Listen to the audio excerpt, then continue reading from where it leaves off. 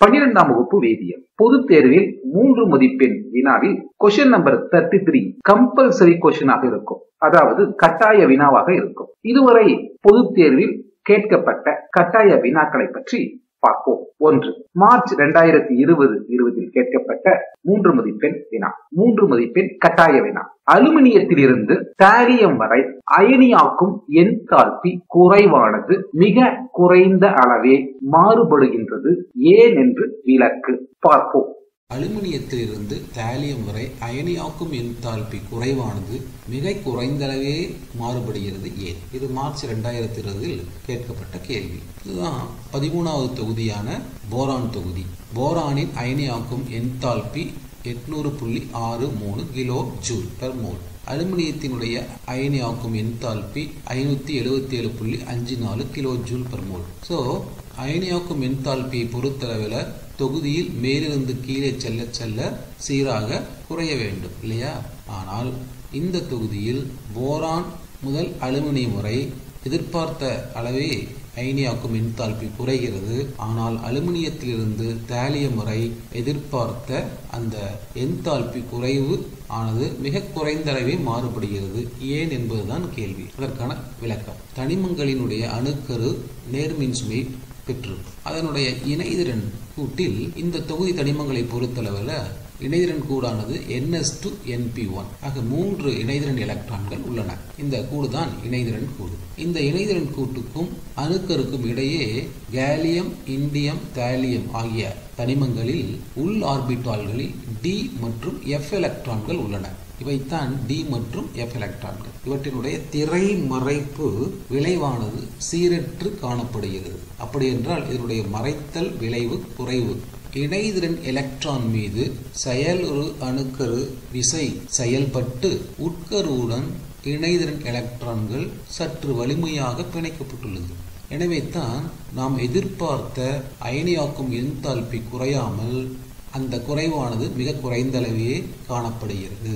இதுதான் இந்த கேள்விக்கான விடை. ரெண்டே ரெண்டு பாயிண்ட் தான். இதை நன்றாக படித்துக் கொள்ளவும். இன்ஸ்டன்ட் எக்ஸாம் இரண்டாயிரத்தி இருபது இருபதில் மூன்று மதிப்பெண் கட்டாய வினா இரண்டு ஆம்பியர் மின்னோட்டத்தை கொண்டு சில்வர் நைட்ரேட் கரைசல் ஆனது முப்பது நிமிடங்களுக்கு மின்னால் பகுக்கப்படுகிறது. எனில் எதிர் மின்முனையில் வீழ்படிவாகும் சில்வரின் நிறையை கணக்கிடுக. பார்ப்போம். இரண்டு ஆம்பியர் மின்னோட்டத்தை கொண்டு சில்வர் நைட்ரேட் கரைசல் ஆனது முப்பது நிமிடங்களுக்கு மின்னார் தொகுக்கப்படுகிறது எனில் எதிர்மின் முனையில் வீண்படிவாகும் சில்வரின் நிறையை கணக்கிடுக. இன்ஸ்டன்ட் எக்ஸாம் இரண்டாயிரத்தி இருபதில் கேட்கப்பட்டுள்ளது. இங்கு பார்ப்பது சில்வர் நைட்ரேட் மின்பகுளி கொண்ட மின்பகுப்புக்களன் இரண்டு ஆம்பியர் மின்னோட்டத்தை மின்பகுளி கரைசல் வழியாக முப்பது நிமிடங்கள் செலுத்தும் பொழுது எதிர்மின்வாயில் படுகின்ற ஏஜி பிளஸினுடைய நிறை. கணக்கிட வேண்டும் அல்லவா? ஏஜி பிளஸ் ஏக்வஸ் பிளஸ் ஒரு எலக்ட்ரானை ஏற்று அது எதிர்மின்வாயின் சில்வராக படுகிறது. கணக்கில் கொடுக்கப்பட்டுள்ள விவரங்களை பார்ப்போம். மின்பகுதி வழியாக செலுத்தப்பட்ட ஐ ஆம்பியர் மின்னோட்டம் டூ ஏ செலுத்தப்பட்ட காலம் டி முப்பது நிமிடங்கள். நிமிடங்களில் உள்ள இந்த காலத்தை செகண்டுக்கு மாற்றிக்கொள்வோம். இன்ட்டு அறுபது second is equal to thousand eight hundred second தேவைப்படுவது ஜெட் மின்வேதி சமானம். எதிர்மின் வாயில் படிந்த பொருளானது சில்வர் அதன் மோலார் நிறை பை ஒரு கூலும் மின்னோட்டம்.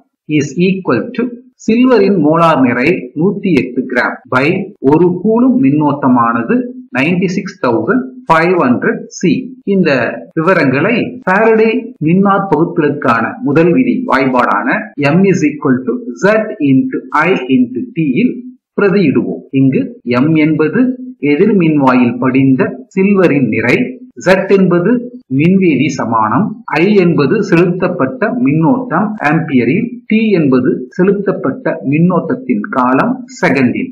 M is to to Z ற்கு பதிலாக 108 gram by ninety six thousand five hundred coulomb into I two ampere into T 1800 second ampere into second is equal to coulomb. எனவே சுருக்க எதிர்மின்வாயில் படிந்த சில்வரின் நிறை M is equal to 4.03 gram September இரண்டாயிரத்தி இருபது இருபது பொதுத் தேர்வில் கேட்கப்பட்ட மூன்று மதிப்பெண் கட்டாய வினா. தூளாக்கப்பட்ட கால்சியம் கார்பனேட் ஆனது அதே அளவுடைய கால்சியம் கார்பனேட் பளிங்குகளுடன் ஒப்பிடும்போது நீர்த்த எச்சிசிஎல் அமிலத்துடன் வேகமாக வினை புரிகிறது. காரணம் கூறு. விடையை பார்ப்போம். தூள் செய்யப்பட்ட கால்சியம் கார்பனேட் பளிங்கு சில்லுகளை விட ஹைட்ரோகுளோரிக் அமிலத்துடன் விரைவாக வினை புரிகிறது. இங்கு பார்ப்பது நன்கு தூள் செய்யப்பட்ட கால்சியம் கார்பனேட் அதே அளவு கால்சியம் கார்பனேட் கொண்ட பளிங்குகள். இவை இரண்டையும் ஹைட்ரோகுளோரிக் அமிலத்துடன் வினை புரிய செய்யும் பொழுது கால்சியம் நன்கு தூள் செய்யப்பட்ட கால்சியம் கார்பனேட் விரைவாக வினை புரிகிறது. காரணம் நன்கு தூள் செய்யப்பட்ட கால்சியம் கார்பனேட் ஆனது பெரிய பரப்பளவை கொண்டுள்ளது. ஆக நன்கு தூள் செய்யப்பட்ட கால்சியம் கார்பனேட் ஹைட்ரோகுளோரிக் அமிலத்துடன் விரைவாக வினை புரிந்து கால்சியம் குளோரைட் நீர் மற்றும் கார்பன் டை ஆக்சைடை தருகிறது. அதே நேரத்தில் பளிங்கு கல்லில் உள்ள கால்சியம் கார்பனேட்டுடன் கார்பனேட்டும் ஹைட்ரோகுளோரிக் அமிலத்துடன் வினை புரிகிறது. ஆனால் மெதுவாக வினை புரிகிறது. ஆகஸ்ட் இரண்டாயிரத்தி இருபத்தி ஒன்னு பொது தேர்வில் மூன்று மதிப்பெண் வினாவில் கேட்கப்பட்ட மூன்று மதிப்பெண் கட்டாய வினா. ஆகஸ்ட் இரண்டாயிரத்தி இருபது இருபத்தி ஒன்னு பொது தேர்வில் மூன்று மதிப்பெண் வினாவில் கேட்கப்பட்ட கட்டாய வினா. பின் வருவனவற்றை சகப்பிணைப்பு படிகங்கள் மூலக்கூறு படிகங்கள் அயனி படிகங்கள் அல்லது உலோக படிகங்கள் என வகைப்படுத்து. ஒன்று வைரம் இரண்டாவது பித்தளை மூன்றாவது நாப்தலின் நான்காவது குளுக்கோஸ் ஐந்தாவது சோடியம் குளோரைடு.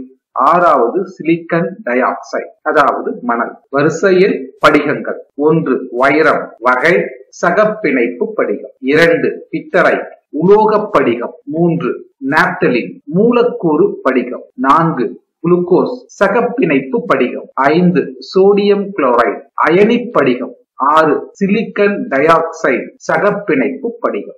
மே இரண்டாயிரத்தி இருபது இருபத்தி ரெண்டு பொது தேர்வில் மூன்று மதிப்பெண் கட்டாய வினா A G N H three twice plus என்ற அணைவு நேர எணியில் ஈனி மைய உலோக அயனி மற்றும் ஐயுபிஏசி பெயரை எழுதுக பார்ப்போம். A G N H three twice plus இந்த அணைவு நேர எணியில் ஈனியாக இருப்பது என்ஹெச் த்ரீ அதாவது அம்மைன் அல்லது அம்மீன். மைய உலோக அயனி. இந்த அணைவு நேர எணியில் ஏஜி ஆனது மைய உலோகம். இதனுடன் காணப்படுகின்ற ஈனியானது நடுநிலை ஈனி எனவே இந்த அணைவு நேரையணியில் மைய உலோக அயனியானது A G plus A G N H three twice பிளஸினுடைய IUPSC பெயர். ஈனியின் எண்ணிக்கை இரண்டு. ஆகவே டை. ஈனியின் பெயர் அம்மைன் மைய உலோகமானது வெள்ளி அல்லது சில்வர். ஆக்சினேட் நிலை ரோமன் எண் ஒன்று. அணைவு கோலமானது நேர்மின் சுமையை பெற்றிருக்கக்கூடிய காரணத்தினால் அணைவு கோலமானது மின்சுமையை பெற்றிருக்கக்கூடிய காரணத்தினால் அயனி. எனவே ஏஜி என்ஹெச் த்ரீ ட்வைஸ் பிளஸினுடைய ஐயூபிஎஸ்சி பெயர் டாய் அம்மைன் வெள்ளி ஒன்